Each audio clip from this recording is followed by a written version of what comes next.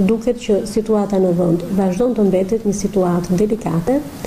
një situatë që duhet të monitorohet me shumë vëmendje, por shifrat tregojnë që ka qenë një situatë e qëndrueshme dhe sidomos në ditët e fundit të javës që kaluam, të kësaj jave që sapo mbyllim, kemi një tendencë ulje.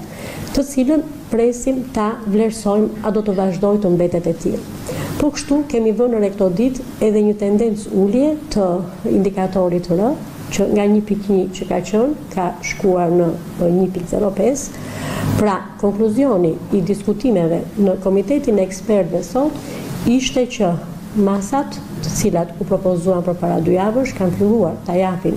efektin e tyre, Dhe prandaj mendojmë që të vazhdojmë të mbetemi aty, duke i vlerësuar, duke i vlerësuar më ngushtësisht, në kohra edhe më të shkurtra, efikasitetin dhe qëndrueshmërinë e kësaj tendence ulje që ne kemi që kemi vënë re në këtë periudhë. Pra, po e përsëris që në masat që vazhdojnë të mbeten në fuqi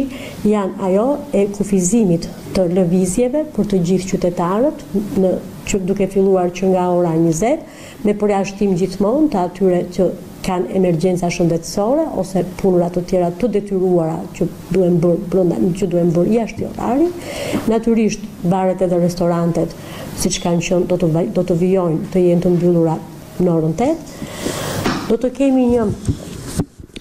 shkollat e mesme në ato vende në të cilat u përcaktuan në dyjavëshin më përpara do të vazhdojnë të mbeten online.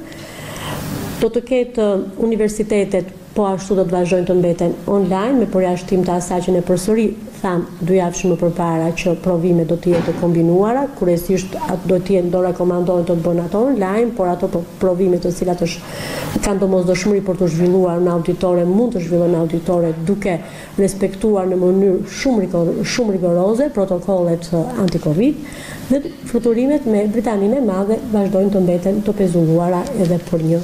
periudhë kohe.